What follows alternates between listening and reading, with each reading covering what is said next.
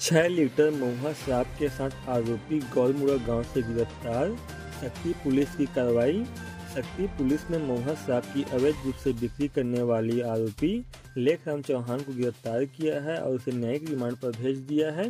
Police ने मामले में आरोपी लेखराम चौहान के खिलाफ आबकारी एक्ट चौंतीस दो के तहत केस दर्ज किया है। पुलिस से मिली जानकारी के अनुसार, मुखबिर से सूचना मिली कि एक व्यक्ति परसदा की ओर से महुआ साबले लेकर बिक्री करने जा रहा है। इसके बाद पुलिस ने घेराबंदी करके आरोपी लेखराम चौहान के कब्जे से छह लीटर महुआ शराब के साथ उसे गिरफ़्तार किया है।